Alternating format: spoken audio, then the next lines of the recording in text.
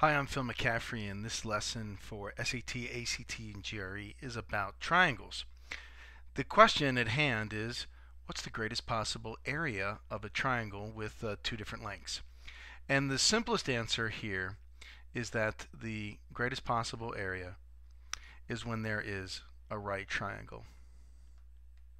And I'll demonstrate it to you real quickly. If I'm given the sides 12 and 7, and I have a right triangle, then that's 1 half the base times the height. And that's 1 half of 12 times 7, which is 6 times 7, which we all know is 42. So the area of this triangle is 42. If I take the same triangle and I change the length, or change the position of the other leg, notice what happens.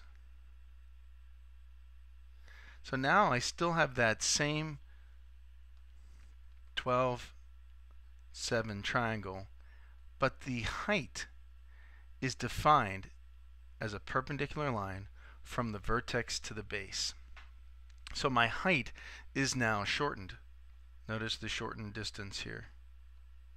So my height in this case might be, say, 5. So I've got 1 half of 12 times 5. The area of this triangle would only be 60, 30.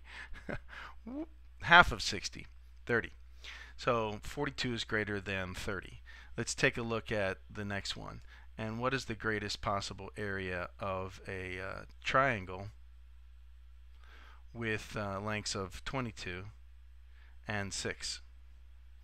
Let's just erase that line. So 22 and 6, give me a big 22 and a short 6. The greatest possible angle. Hey, check this out. Smartboard has this shape recognition pen, so I could have drawn my triangle like this, and it pops into a little triangle. Not too bad, huh? So, nice right angle. Oops, Let's uh, undo that one. Having too much fun with the smartboard. Geek math teacher fun. 22. Almost wrote 12 again. And 6. 1 half of 22 times 6. Half of 22 is 11 times 6 is 66. Anything shorter, if I put a greater angle on this, uh, or lesser angle or a greater angle. In both cases, I shortened my height or my altitude. Remember the word altitude. That's fair game on the SAT. Altitude, altitude is equal to height.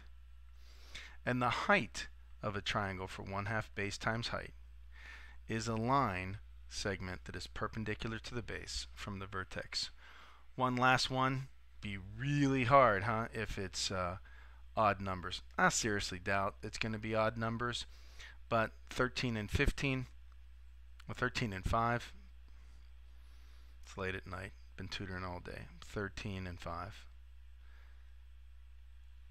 Once again, for a quick demo, if I change the sides, change the angle, and I have this triangle here, it's a much smaller area. You can even see it there that this area is much smaller.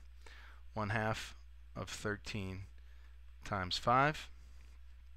1 half of uh, 13 is 6.5 and 6.5 times 5 is going to be 32.5. I'm Phil McCaffrey. Happy learning.